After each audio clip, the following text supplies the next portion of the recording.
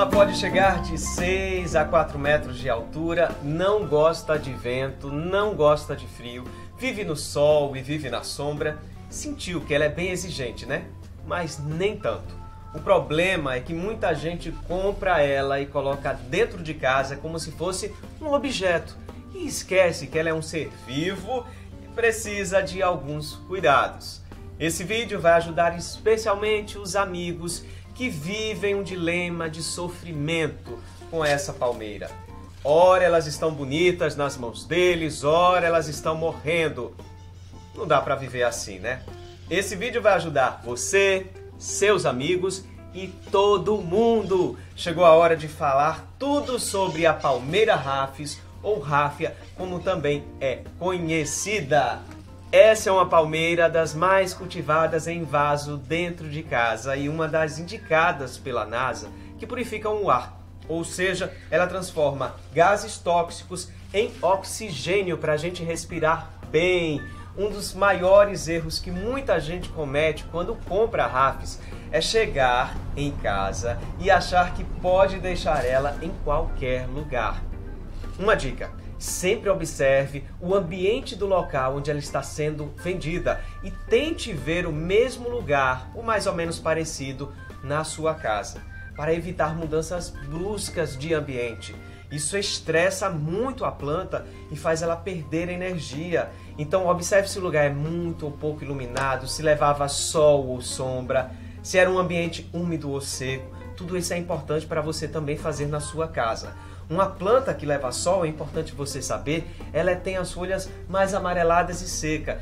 Já uma planta que tem sombra e luminosidade, ela fica mais verde e com aparência mais brilhante, como essas que vocês veem aqui.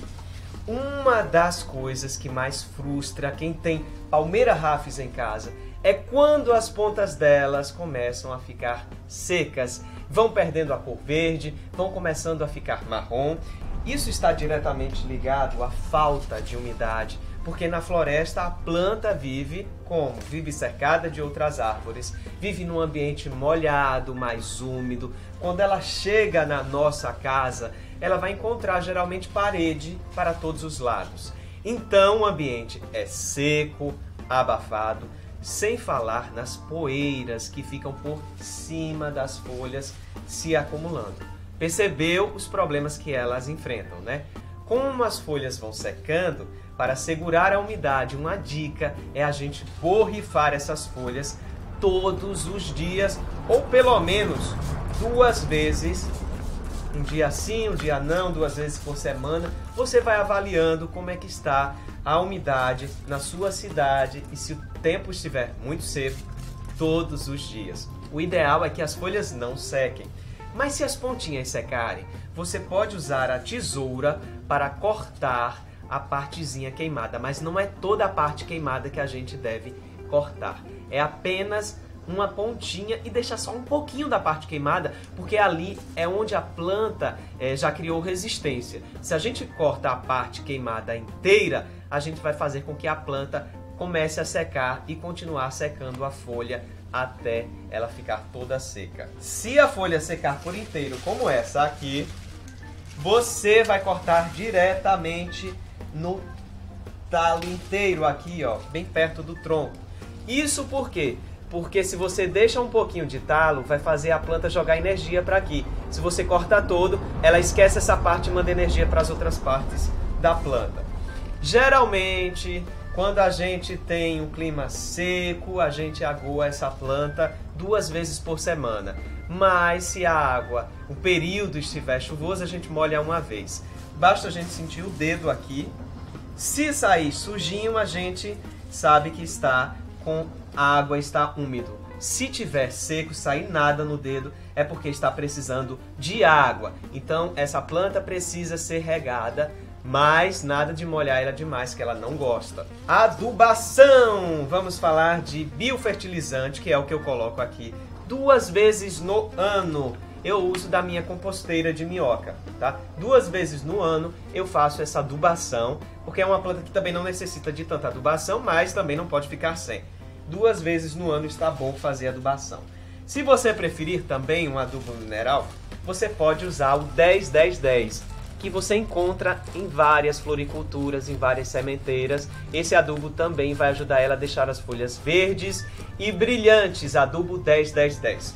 Uma dica, ela gosta muito de nitrogênio para deixar as folhas verdes e brilhosas. Então, uma dica que eu já dei aqui é o adubo de borra de café. Dá uma olhada aqui na descrição e aqui no card que vai aparecer para vocês, que eu ensino a você fazer esse adubo que é rico em nitrogênio na sua casa.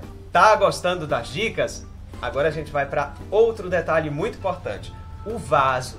Por ser uma planta, uma palmeira, quanto mais fundo for o vaso, mais as raízes vão crescer, mais a planta vai ficar grande.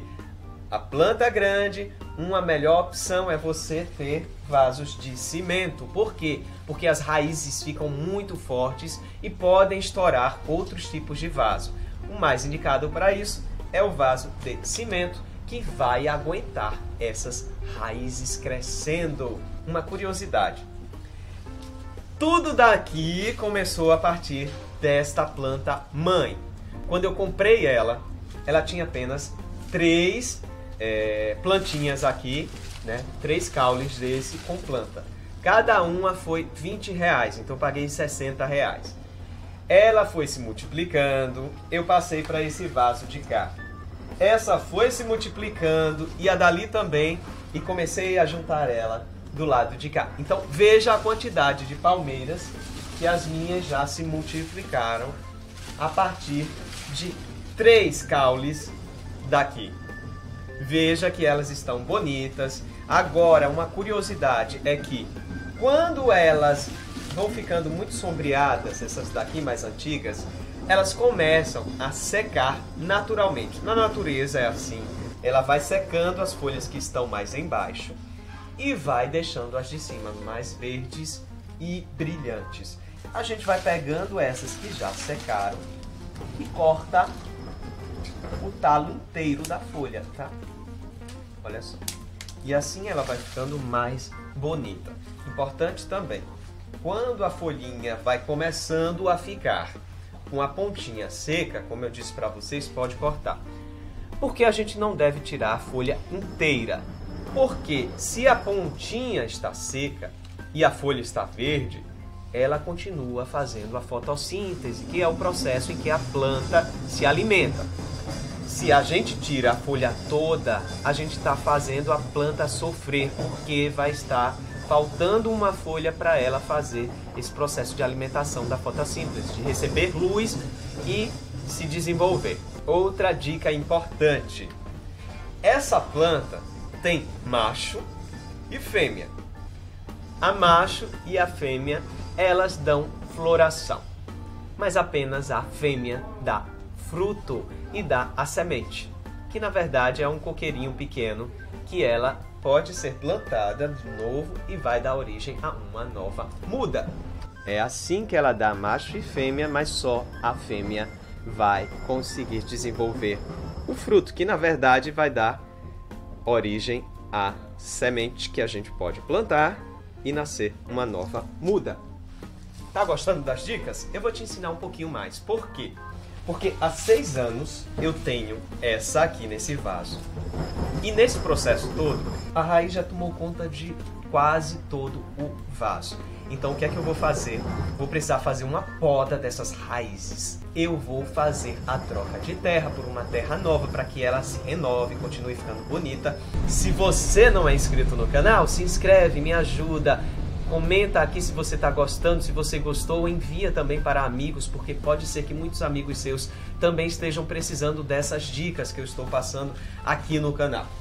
Como o vídeo já está muito grande, eu vou pegar, fazer um outro vídeo mostrando como eu vou fazer o replante desse vaso aqui, dessa palmeira Rafis, para que você entenda passo a passo que a gente deve usar e como montar o vaso para ela continuar bonita. Certo assim? Então eu te encontro no próximo vídeo que a gente vai falar sobre o replantio da nossa palmeira Rafis. É como eu sempre digo aqui no canal, ter uma planta em casa é uma terapia. A gente se encontra no próximo vídeo.